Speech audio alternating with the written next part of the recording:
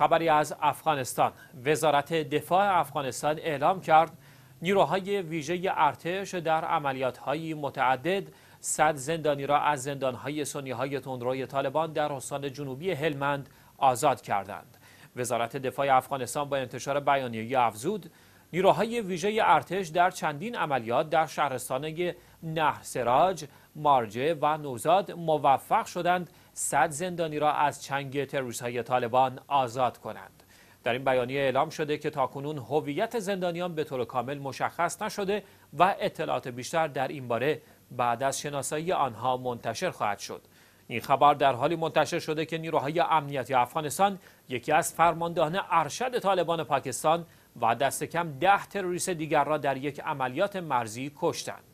هنوز جزئیات این عملیات نیروهای امنیتی افغانستان منتشر نشده اما گفته می شود طالبان حلاکت این فرمانده ارشد خود را در مرز بین افغانستان و پاکستان تایید کرده است نبرد میان نیروهای دولتی و سنی های تندروی طالبان در هلمند از اواخر سال گذشته شدت یافته و دست کم سه شهرستان این استان در تصرف طالبان قرار دارد.